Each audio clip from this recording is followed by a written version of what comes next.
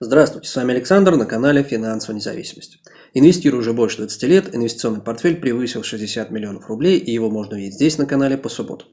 Про дикие цены на квадратные метры сейчас знают уже все. Кто-то расстраивается тому, что теперь покупка квартиры для него стала недоступной, а кто-то радуется росту цены своей квартиры на десятки процентов. Причины лихого роста я здесь сегодня затрагивать не стану, об этом я уже говорил подробно и в сравнительно недавнем видео. Гораздо интереснее, что будет. Об этом и сделан данный ролик. Как я уже говорил много раз, ключевое в ценообразовании – это спрос. А самое важное в ценообразовании стоимости жилой недвижимости – это спрос на ипотеку. Именно спрос на ипотеку и определяет в основном текущие и будущие тенденции на рынке недвижимости. И здесь я выделю очень важный нюанс. Это придется сделать, потому что в комментариях продолжают писать, что выдача ипотеки растет и приводит соответствующие цифры. Так вот, реальная выдача ипотеки и спрос на ипотеку – это несколько разные вещи. Спрос на ипотеку – это заявки на одобрение на ипотеку, некий опережающий индикатор. А здесь далеко не все великолепно. По данным опроса платформы онлайн-ипотека, больше трети россиян, собиравшихся взять ипотеку в 2022 году, отказались от этого шага. Отказы явно происходят из-за роста ипотечной процентной ставки и из-за того, что цена жилья уже стала неадекватно высокой. Еще более показательным является процесс отказа от уже одобренной ипотеки. Все больше становится тех, у кого не получается подобрать подходящую квартиру для одобренной ипотеки, так как не нравятся цены. Цены, кстати, пока что не показывают явной тенденции к снижению. Разве что в единичных объявлениях можно увидеть снижение. Но уже можно и нужно торговаться с продавцами.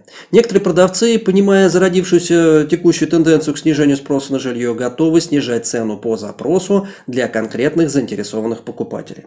Кстати, думаю, понятно, что не везде такая ситуация, в разных регионах регионах по-разному. Я живу в Москве и общаюсь с московскими риэлторами. И аналитику изучаю в основном по московскому региону. Ну и общие тенденции, конечно, тоже смотрю.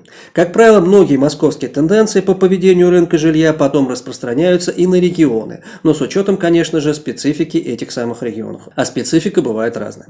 Так вот, по тому самому опросу почти половина опрашиваемых, которые пересмотрели свои ипотечные планы, сделали это из-за повышения процентных ставок по кредиту.